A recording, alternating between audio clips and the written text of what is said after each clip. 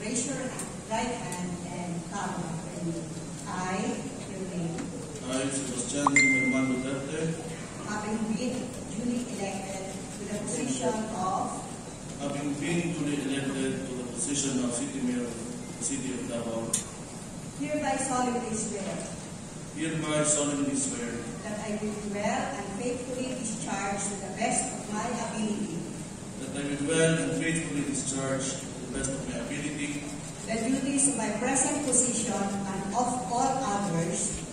The duties of my present position and all others. I may hereafter hold under the Republic of the Philippines, I may hereafter hold under the Republic of the Philippines, that I will bear true faith and allegiance to the same, that I will bear true faith and allegiance to the same, that I will, that I will obey the laws, that I will obey the laws, legal orders, legal orders, and decrees promulgated by the duly constituted authorities of the Republic of the Philippines, and the decrees promulgated by the duly constituted authorities of the Republic of the Philippines, and that I impose this obligation upon myself.